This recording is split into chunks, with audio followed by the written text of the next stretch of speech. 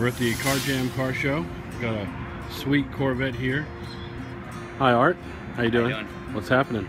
Oh, nothing, man. Just enjoying this car show. What year is your Corvette? It's a 1978. Awesome, good looking car, man. Thank you. What uh, what have you done to the car? Well, it's got a complete customized front end, all one piece. Headlights are hidden underneath the uh, the cowl and the grill. All Very billet cool. aluminum grill.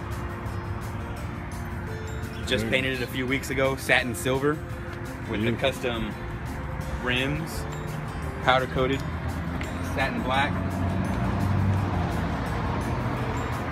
Very nice. How long have you had this car, Art? Had the car since 1998. 98. Yeah. So it's been a work in progress. Oh yeah. Well, it looks like it's come a long way. Thank you very much for sharing. Thank you. Have a good day.